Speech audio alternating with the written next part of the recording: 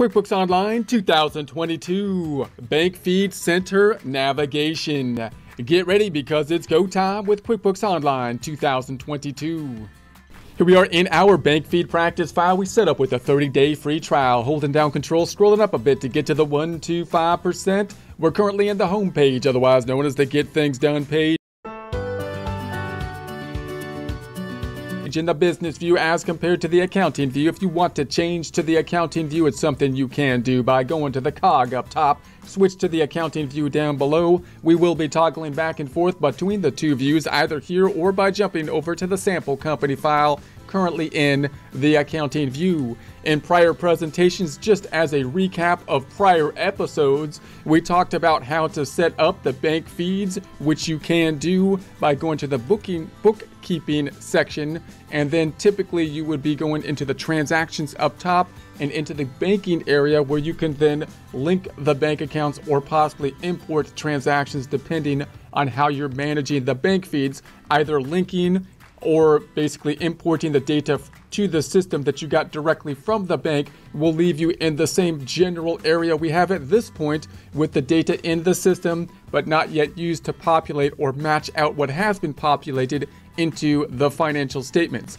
You can also go down here to the accounting, I'm sorry, to the chart of accounts and then create your chart of accounts, which would be those types of accounts that can be linked to a financial institution, those being checking accounts, savings accounts, or the credit card accounts, keep those in mind as well. We're going to be up here in the transactions area now talking about a situation that once we have the data into the system, rather through either through bank feeds or by basically uploading to the system, we have the information in what I would call bank feed limbo at this point in time and how we're going to pull that information forward. Just to recap over here, if I go to the tab down here, if you're locating where we are in the accounting view, then you would be want to be going to banking up top and that is where the bank feed information will be here in the banking up top similar situation. If you wanted to look at your chart of accounts then you would be going to the accounting down below into the chart of accounts up top. So there's a you know just a difference in location between the two views but the look or once you get into there the feel of what you're actually doing will be basically the same so if I go back on over to the bank feeds here, our test file, we're in this account. So this is one account that we have that has been imported the data from into our checking account. And down below are the transactions that got pulled into the system and they're in bank feed limbo. So they're that's what I call that's not a technical term for QuickBooks, but I call them bank feed limbo because they've been pulled in, but they're stuck in limbo and they need a little information. They need a little help they need a little love to pull them through from bank feed limbo into the promised land of the financial statements. Just like everyone, just the transactions from the bank feeds are no different. They just need a little little support to pull them through. What do they need? Primarily, they're going to be needing a vendor or a customer, depending on if it's a payment outflow to the checking account or inflow, and they're going to be needing then an account that's going to be applied to them.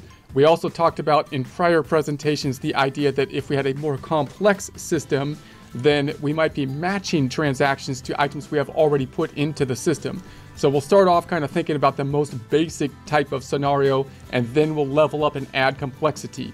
The most basic type of scenario being one in which you're basically depending on the bank feeds to basically create your financial statements and so we'll, that'll be the starting point because that's the easiest system to be reliant on. And then we'll deviate to a more of a accrual based type of system, a more full service based type of system, and add complexities as we go. So let's just kind of review our items up top.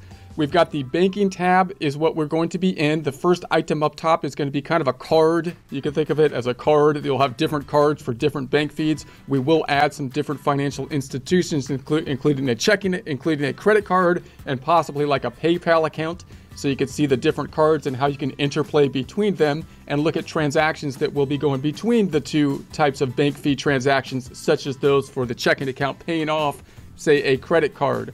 Then we have the link item over here. This would be to link an account. So this is one area you can go to basically link the account. You can upload from the file. So if you're doing a scenario where you're downloading the information from the bank in like a QBO file or a .csv common download formats. Then you can upload the information here, manage connections. So you can go through the manage of the connections. You can order checks. So order checks. Then we have the explore item. This is QuickBooks trying to, to automate more the system. You can't depend completely on Explorer, and Explorer is going to be different than the rules that we'll try to set up. In other words, if you look at this little icon here, when you look into the actual bank feeds down below, you've got that little that little icon down here, and you to see they, they tried to assign assign it to basically an account, services account, in this case, a revenue type of account. That may be right, they may be correct, but you want to be very careful of not just going down here and confirming all these items that QuickBooks guessed on because all it is is a guess. Obviously, these items being deposits, they're going to guess, well, the other side should be revenue, and they're going to put it into revenue. Could be correct, but they may be wrong in the guess. We might want more detail in the guess that they're giving us, and they also don't have the information for the for the customer, so it's not complete. If I was just to add that, I can enter it into the system without a customer, but I'm losing some data if I do. So most likely, if you could add the customer, as a general rule, you would want to. If you can add a vendor as a general rule, you would want to because that allows you then to go into the vendor center and support the deposit or look at the deposits and the payments by who you paid and who you received uh, the money to. So that's going to be a, the, the general rule. If I go back up top, then we're going to then say we've got the, the For Review items. There's 71 transactions at this point in time. So that's just going to give you a number of the transactions that have not been included. Now, a lot of them uh, might be might be categorized in future in future months. The first month, all the transactions are going to be uh, here, and there, there's not going to be much help other than this this trying to explore this automated type of thing because you haven't set any rules up. So all the transactions need a little help, a little love to be pulled in through to the promised land to be used to create the financial statements in other words. But in future presentations, because we can set up rules and we can kind of memorize the typical transactions coming through, we can automate it a little bit more and we can have more of those transactions passing through or being more complete as we go forward. We'll take a look at some examples of that the categorized items, so there's nothing in the categorized items because they're all in the first tab at this point. The excluded items, those are kind of items that we're going to say like deleting the items so they would be moved over here. You don't typically delete items if I go back to the first tab because these items got pulled in from the bank statement. So it's not like they're wrong. They can't really be wrong, you would think, because they cleared the bank unless the bank is wrong or unless they were entered twice. It's possible they got entered twice somehow, in which case you might want to try to delete them or, or exclude them, but for the most part, they came in from the bank, so you want to add them in some way. If you had already entered them into our system, what we will do is match them. Then they should be used in the matching process. Uh, so, so we won't just delete it. We'll match it out to what's in the system, helping us out with the bank reconciliation type of process. We've got the date ranges, so we can sort by the dates here. So we can we can kind of list the transactions, which can be nice by the order of the date. We've got the uh, transaction types, so we can have a filtering option. So we have all transactions. We can have the recognized transactions, no recognized transactions at this time because it's the first uh, data input process. Matched, we're not going to have any matched transactions because we don't have any data in the system. But if there were data in the system, we can look at the items that are matched and determine whether or not those are properly matched transferred, rule applied. Now, we haven't set any rules, so there's not going to be anything here, but that's going to be an important thing going forward. We want to set up the rules. We would like to, the rules are going to be better if I close this out than depending on, say, these automatic confirmation items because you have more control over the rules and you can you can know exactly what QuickBooks is doing. These are just guesses you have no control over. I don't know why QuickBooks did this. I could guess, say, oh, yeah, well, it's a deposit, so they put it into revenue that makes sense, but I don't want to depend on that. I'd like to make a rule, and if I make a rule, I can also add the customer as I as I do this. So you don't really want to be dependent on this typically. You'd like to be able to add the rules. That might help you to apply the rules, but and then we've got the missing payee and the customer.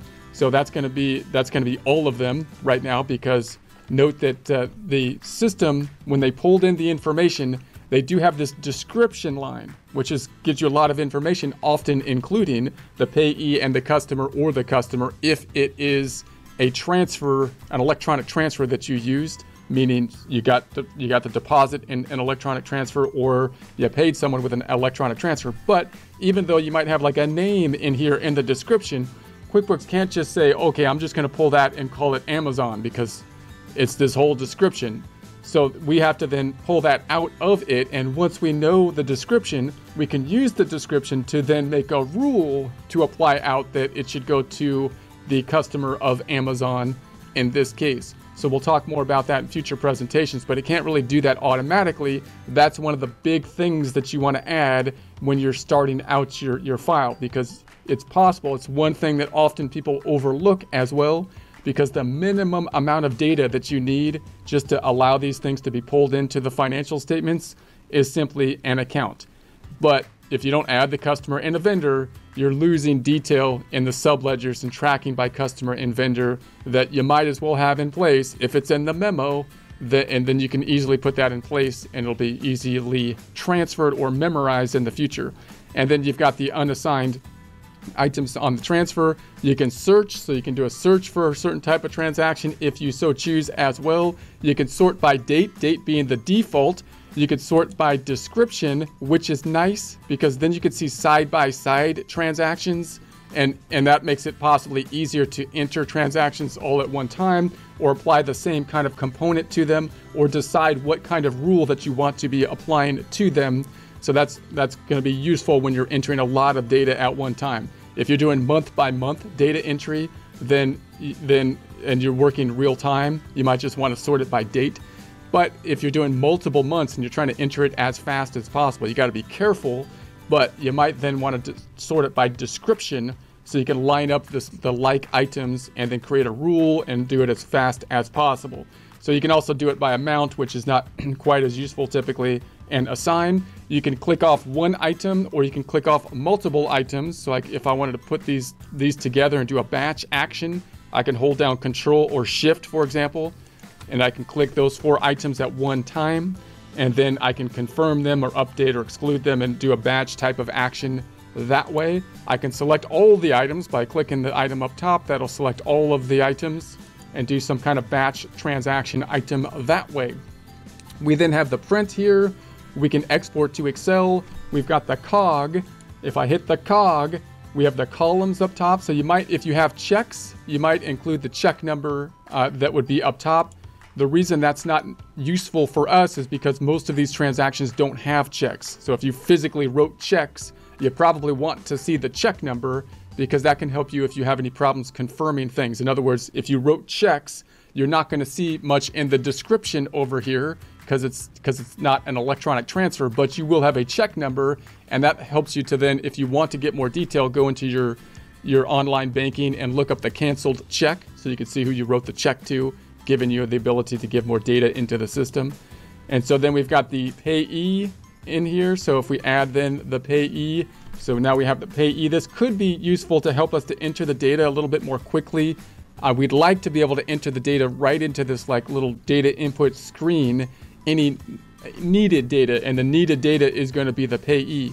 But there's, you know, they're not allowing us to basically just input it in the field here. When you click on it, that's going to open it up, and you got to go into this little opened up area in order to finish the transaction. We'll look at that in a second.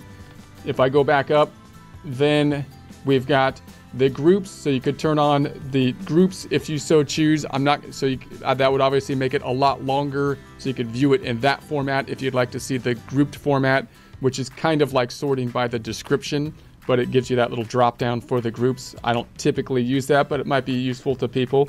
And then we've got down here, show amounts in column one, show uh, tags field. So I'm going to keep that on uh, editable uh, data field. So we got the editable data field. I'll click that.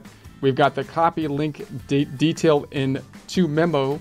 So that means when you create the actual financial transaction, you're going to be creating typically an expense type of form, a check type of form, or a deposit type of form. If you were to drill down on the actual form, say from the end result, the bank statement, which we'll take a look at, you'll have the memos in here, which is in essence the description included in the source document that you'll be making, which is generally could be a good thing. It shows the suggested rules, so it's going to give you those suggestions. Uh, show bank details. I'm going to go ahead and give the bank details here, and enable suggested categorization.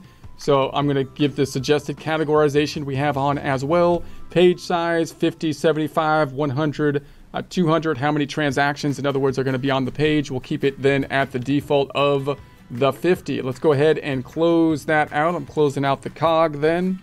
And let's go into it one more time and I'm going to I'm to remove the check number and the payee is not going to help us here. So I'm going to remove the payees and go back to that so I can see a longer description.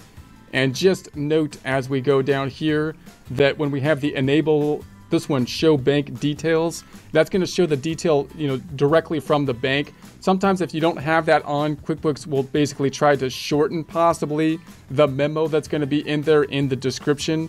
But what you, you might want in some cases the full description that comes from the bank because that could help you to do your bank rules. In other words if i lose some of the detail all this other junk on the right hand side then I might not be able to apply some more complex rules, which might be a, a way for me to di- differentiate from, say, Amazon here to a different kind of Amazon thing, like down here, and apply a rule that allows me to automatically do, do two different transactions, even though they're both dealing with the same uh, company, Amazon.